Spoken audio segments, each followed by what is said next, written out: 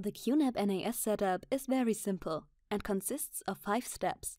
The following video describes how to set up the MariaDB 5.5 in QNAP and then connect to a new database or an existing one in PaperOffice. First, start the QNAP QTS and then select Control Panel.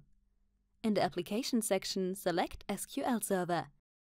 Set a checkmark next to Enable SQL Server and Enable TCP IP networking. Click Apply to activate the changes. The data will be saved. Please be patient for a moment. Second, click here to install phpMyAdmin. Perform the installation by clicking on the corresponding Install button. If you already have phpMyAdmin installed, skip this step. The installation process takes a moment. Third, start phpMyAdmin. Enter the username and password. If these have not been changed by you, they are by default root and admin, and then click on Go. Fourth, select the User Accounts tab, and then click Add User Account to create the database user. This user is required only for the setup, so you can delete the user account after the full installation. Enter his username and password PaperOffice. In the Global Privileges area, select Check All and confirm the entry by clicking on Go. Fifth, start now your PaperOffice and click Continue to connect to a database.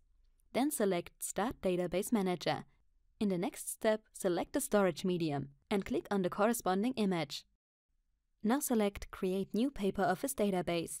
Enter the IP address of your QNAP NAS database, username and password in the corresponding area. Then click on Check Information, Save and Continue.